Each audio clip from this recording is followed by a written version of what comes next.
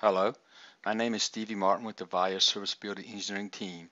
This video is about the email configuration for a Web.Alive OPS environment. We are taking a look at how email is set up on a Web.Alive server, some of its uses via the administration panel, and some of the customization you can do in an on-premise software environment. Through the Web.Alive administration panel, we use the email function in several ways.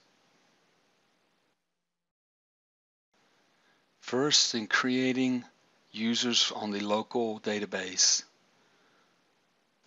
we send notifications to the users via email that an account has been set up for them with the login information and password. We'll see an example of this a little later. Also, an email is sent when a user's password has been changed to notify them of the modification. In our main environment, we can set up notifications for when a user enters the environment, when they have entered the environment for the first time, or when the number of users in that environment crosses a certain threshold. This is for support. So you know who comes into environments and when, if it's a first-time user, you may well go in and introduce yourself if it's a storefront or some type of environment uh, involving sales or interaction with a customer. You also want to know when users reaches a certain threshold. This could be for many reasons. Reaching the maximum capability of the server or knowing when everybody's arrived for a meeting. There are various uses for this depending on your needs. Your email is set up what is in what is called the Web.Alive configuration tool on the desktop.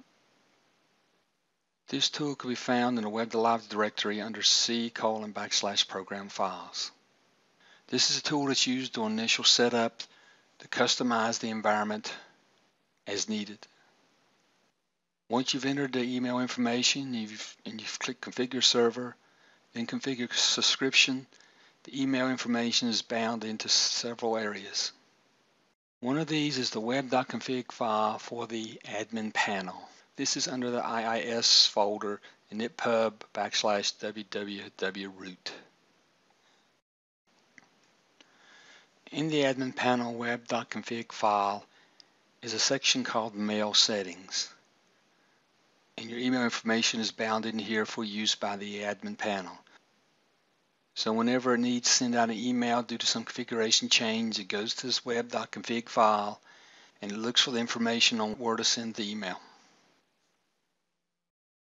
One other item of interest to note is in the same WA admin panel folder, there's a subfolder called email.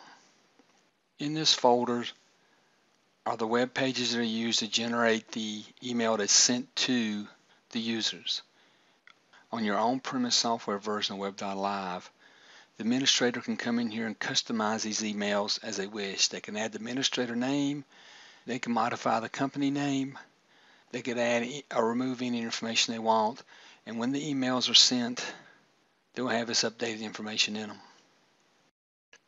This is an example where the password is changed for a user on an OPS server. This particular one was modified to add the administrator name. The default version just has your web.alive administrator. This example of an email that was sent to a new user who was added to the web.alive server via the admin panel in the user administration tab. In this one, I made a modification to say your new web.alive account on the serviceability engineering team server. Initially just said subject your new web.alive account.